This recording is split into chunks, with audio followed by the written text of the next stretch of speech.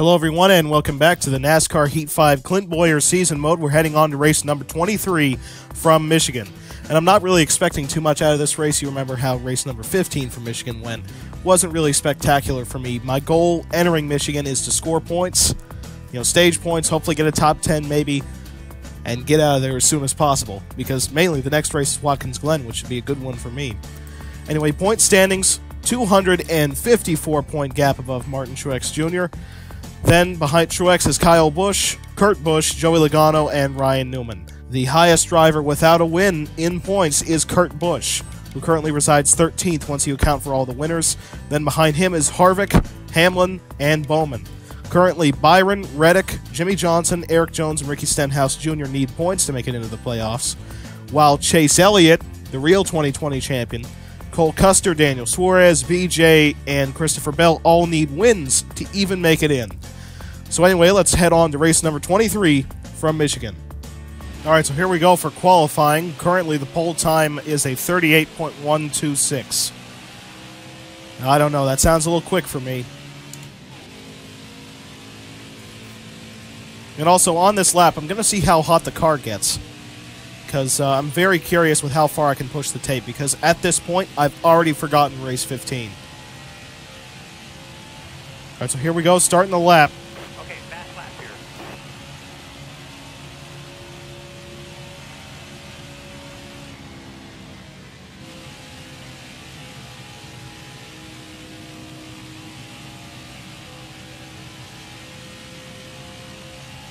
I so much wish that NASCAR Heat felt something like NR 2003 with how you can arc the car in because it's I don't know the whole handling model is just awkward in this game and it's it's just ugly.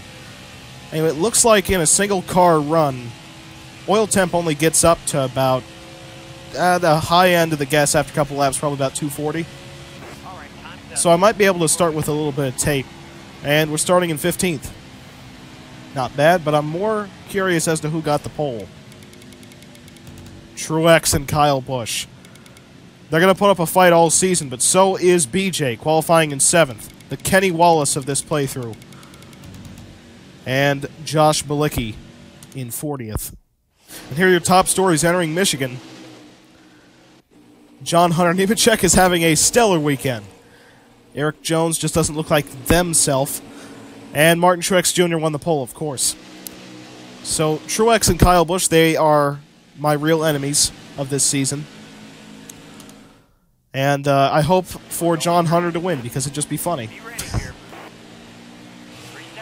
Remember, he won two fake poles this season Talladega and Indy. I don't know how he manages to qualify second, and every time he gets second place, somebody, well, not somebody, the pole winner has to have a problem before the race starts and they have to fall to the back due to a change. I just don't know how that 38 car is so lucky as to have that happen every single time.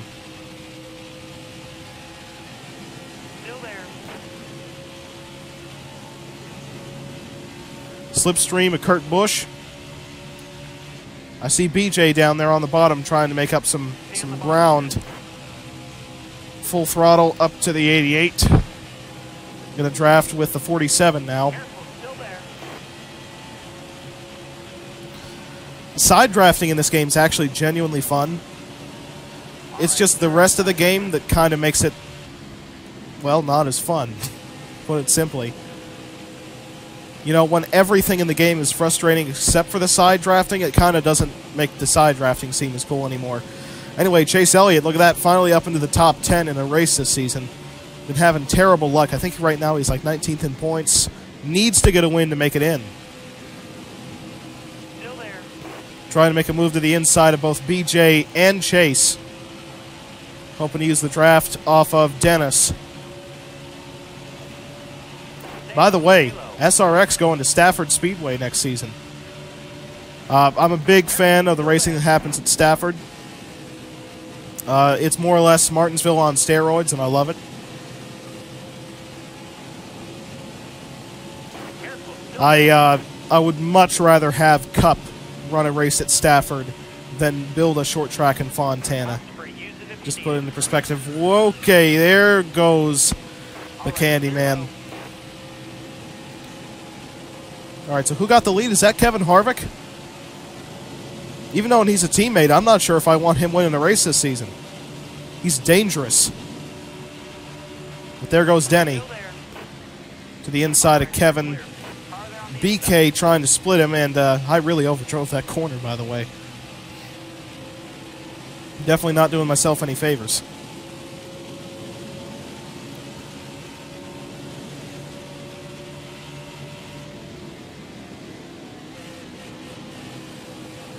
And Chase Elliott checking up a little. My car's surprisingly hooking the bottom, which I'm happy about, but the AIs can obviously do it better. I mean, no matter how good your car is, the AIs will, you know, they got speed comp or something. They'll always outrun you.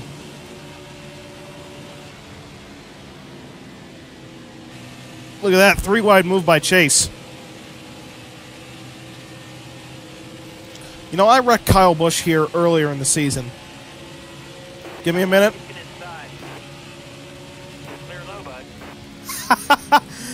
Okay. All right, I, I see you, game. I see you. I'm I'm gonna I'm gonna pit because I'm hoping to pull the same strategy I pulled in uh, the first race at Michigan earlier this season when I beat everybody on pit strategy to the end of uh, stage number one. Hoping to do that again.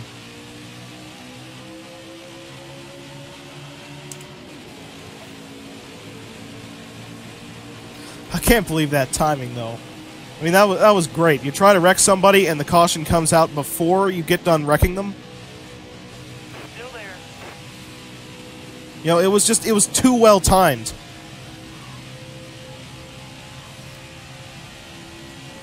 This game, the one thing it has that's comedic is timing.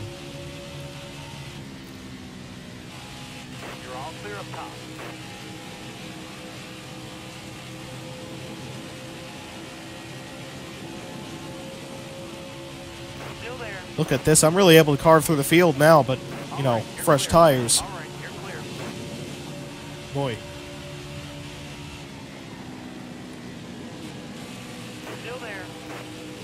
What's uh what's Justin Haley doing so far up in the field? Oh, come on. Brake checking someone while they're trying to shove you past somebody. Come on. There's no sensible reason to do it. Look at Corey up here. Chase Elliott's the leader. He uh, he really needs the points. Five to go. Five to go. But anyway, back on the subject of the SRX. You know, I think we can all kind of sense that NASCAR has to do something really drastic to uh, survive into the next decade. And, you know, the, the hope is the next gen car will kind of save the sport in a way because they're, they're kind of fighting for their life. As much as they don't want to admit it, you know, because they're a company, why would you admit it? Then you'd lose partners. But uh, that's kind of what position they're in. You know, if, if the next gen car flops, you know that that'll probably be the end. I'm not sugarcoating it. You know, as much as I don't really want to see it, that will probably mark the end of NASCAR if the next gen car is a flop.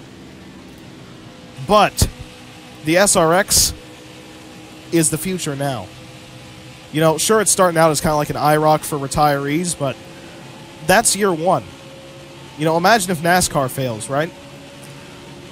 The SRX could take on a whole new restructuring program to, to fit all the new drivers that would be, I guess you'd call them exiles from NASCAR. Uh, because, you know, the SRX, as much as it might not seem like it, they are in a very important position right now, being quite possibly the next big time stock car league. But just like NASCAR itself, it takes time. You know, NASCAR didn't really get to the point of being well known until 1979. Remember, they were founded in 48, December 14th, by the way. So we uh, we were just through another NASCAR birthday r- rather recently. There's my pit strategy, by the way. How you like it? John Hunter up to second. I'm going to comfortably get to the end of the stage. I have very high hopes in the SRX overall. You know, they have a good model. I'm a little bit concerned about how, you know, the after effects of, of 2020 as a whole is going to affect them coming into their first season. But uh, it's a year to build up.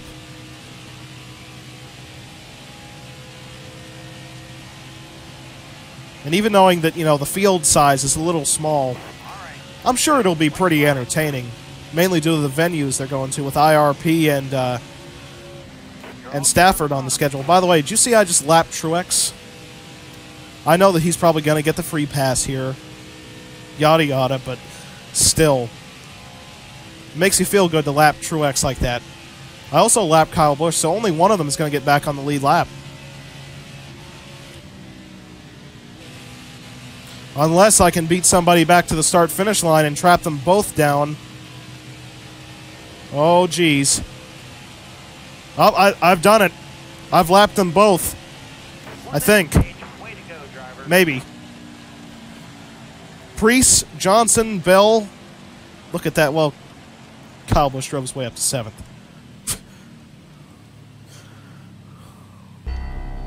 BJ got a stage point.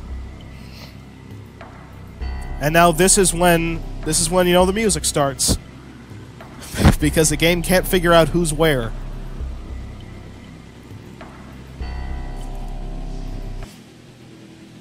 Okay. It got it it got it figured out. Kyle Busch got four stage points, Truex got a few. Kyle Busch is back on the lead lap. Truex is not. Interesting. Yeah, maybe. We'll see what it does. Kyle got the free pass. That's all right. I'm hoping to work the same exact strategy in in this stage.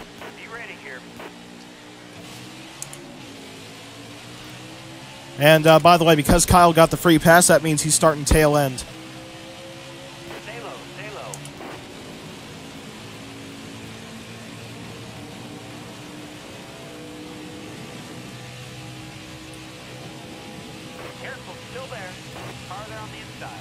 And Truex might be able to get back on the lead lap here.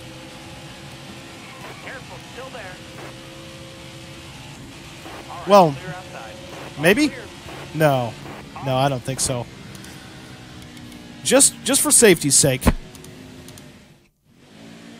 I'm pitting so I can make it to the end. Sure, Truex and Kyle Busch are back on the lead lap, whatever, because they're probably gonna have to pit. Hammer down, greens out. Maybe. I mean, since they were close already, it's probably not gonna make much of a difference. Still there.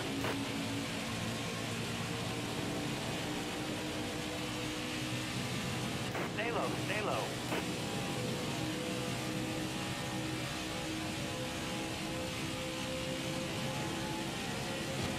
Here we go. Erik Jones getting hooked up.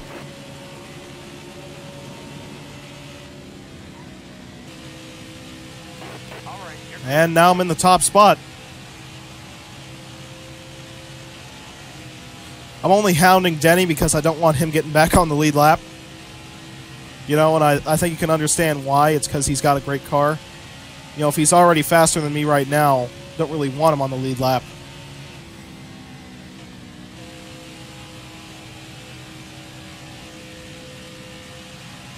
I, I, I should logically let him by because it's probably a bad idea for me to fight anyway. Look at that speed, though. Gonna use some of that speed.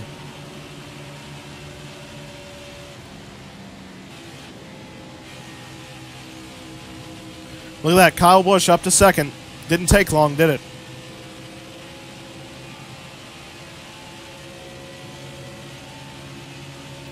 Again, like I said, not really here to win the race. It'd be funny if I did.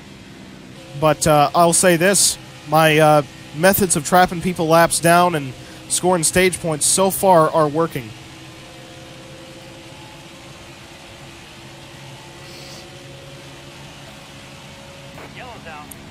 Okay. How does this affect everybody?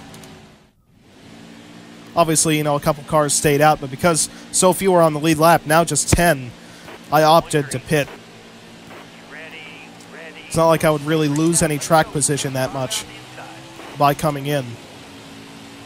And I now have the advantage above the guys in front of me. So that's nothing but good news. Oh, look, Kyle Busch following me through.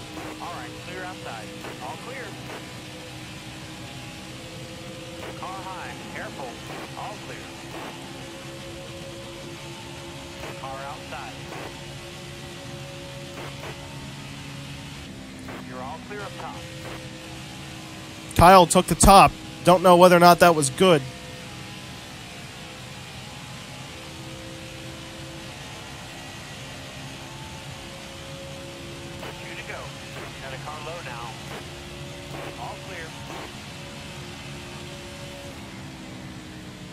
Well, I wanted to finish what the game denied me of, of finishing earlier, but uh, then the physics kicked in right there. Inside. All clear. There we go. There we go. Got him. Won that stage. Way to go. But uh, I wanted to finish the spin. Anyway, we won the stage because of that. Kyle Busch only scored three points, kind of rigging the race. But you know, I am Clint Bowyer. It's kind of my duty to rig the race. We're going green. Be ready.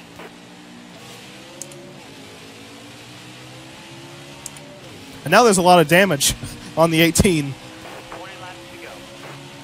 So we're going to have to pit at least once in the final stage. Look at Almirola s- stopping up the field right there. So even if, you know, Truex or Kyle Busch wins the race, I I got the advantage with the stage points. That's all I really need to do. All right, clear outside.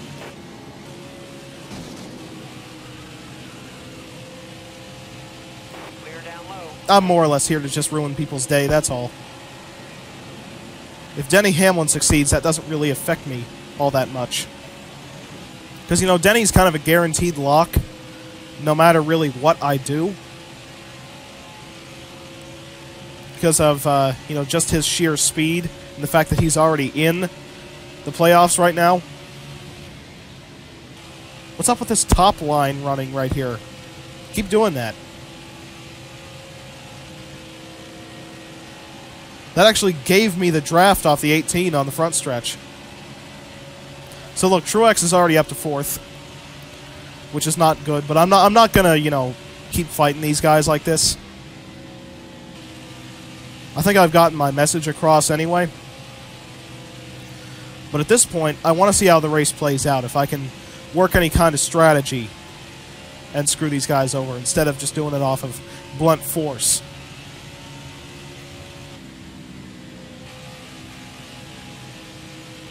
Be kind of funny though if Kyle Busch takes the lead right here with how much damage that car has got. It should not be this competitive unless uh, Denny's letting him by. Okay. Not really sure how to take that one. Because there's so few cars on the lead lap, it really doesn't matter if I pit because I'm not going to lose that many spots.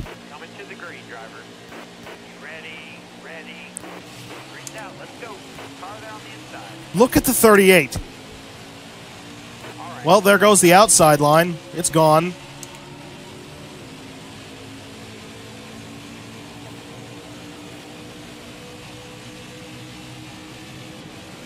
Is that Priest making a three wide move for the lead? Here I come. Screw all he uses.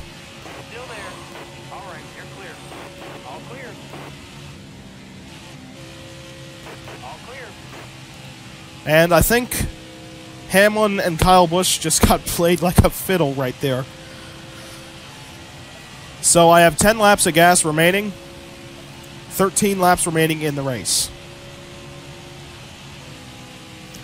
Is that Kyle Busch? Again? Have you not learned? Jeez. Okay, you ready for like round seven? Kyle, what you're doing, what you're doing is is is a bad idea.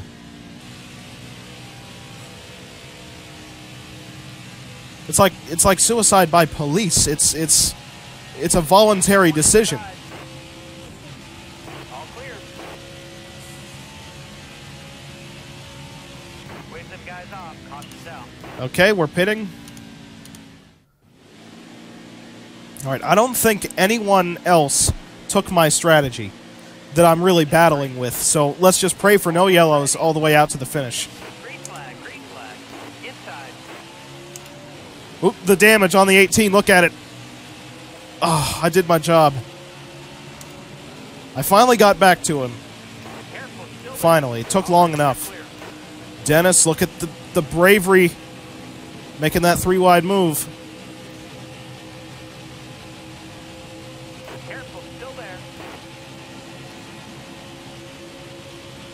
If you're wondering why I've more or less gone into full screw it mode when it comes to wrecking people, like I said in the last part, if the game isn't going to play fair, why should I? You know, I'm not going to I'm not going to play within expected rules when the AIs drive so unrealistically that they can wrap the bottom going 20 miles an hour faster than I can. I will beat the game in some way, but I'm not going to beat it the way it wants to be beat. I'm going to beat it the way I want to beat it. And I bought the game, so you know, I paid like twenty three ninety nine for this.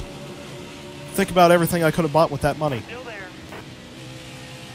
Could have, you know, could have bought like some Subway sandwiches. Like what? Four Subway sandwiches for that much money?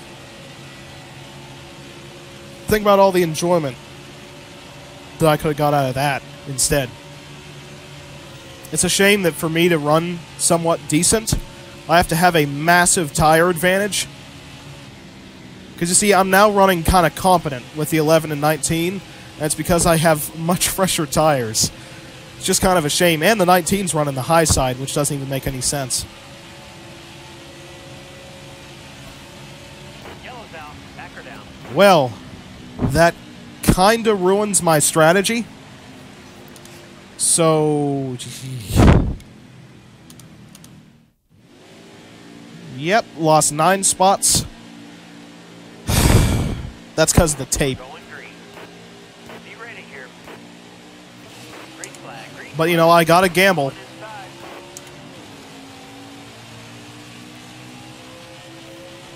I got to put it all on the line because that 38 car, John Hunter's leading the field, and that might open up every opportunity in the world as Kyle's going three wide on the inside. kidding me? Kyle, you're going to get it.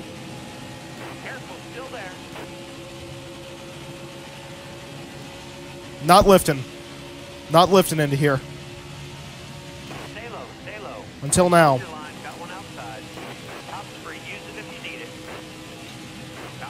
Look at this mess.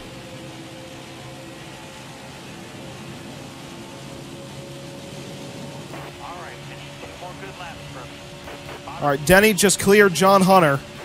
All right. You're clear.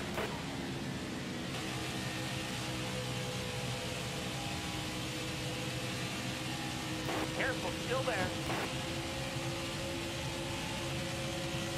Three wide for second.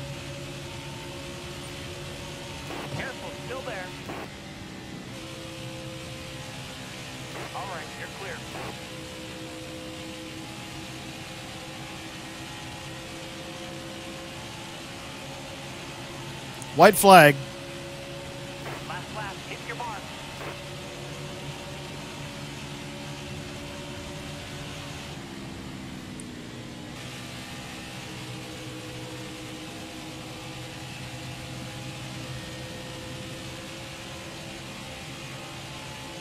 Looks like Denny Hamlin's going to lock himself in right here.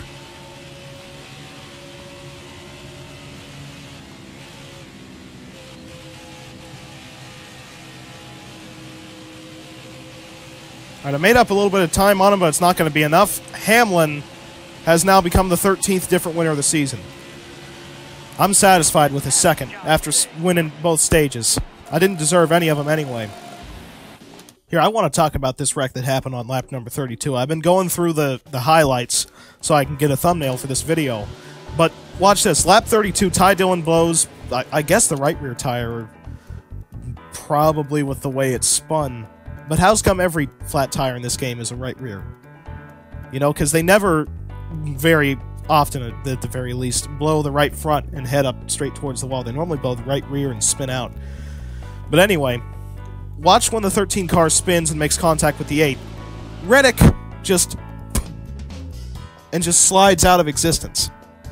Like, let me see if I can get a better camera angle this. All right, so just pay attention to Reddick and how he just flies away. He's gone. Disappeared. Went somewhere into the infield through a garage stall and he's gone. Reddick has left the building. But anyway, we finished second, got a speed rating of 104. Denny Hamlin wins the race. I kind of screwed over Kyle Busch successfully. Only 14 cars finished on the lead lap. Dead last was William Byron. Take a look at the point gap 1,080 points to Martin Truex Jr.'s 812. Kyle Busch still running in third spot. Uh, Denny Hamlin with his win is in sixth position now. Uh, look at that point gap, by the way, between fifth to seventh 76, 74, 73. Really close battle right there. And now we have 13 winners on the season. The battle for last in points. Bobby Carter with a pretty clear margin above Gase and Gone, who are now tied for second to last. Kyle Busch set the fastest lap, and I did everything in my power to make him not set the fastest lap. Hamlin led the most laps. And then Erik Jones was on the move, started 35th, finished 11th. And finally, the Heartbreak Award goes to William Byron. Started 17th and finished dead last. All right, so my point gap above Martin Truex Jr. is now out to 268 points. Kyle Busch currently resides in third, then Kurt Busch, Joey Logano, Denny Hamlin, Ryan Newman, and Kevin Harvick. And as we switch back to the playoff standings, with now 13 different winners, we only have three drivers who can possibly make it in without a win. Currently, the drivers who need points are Byron, Reddick, Johnson, Jones, and Chase Elliott.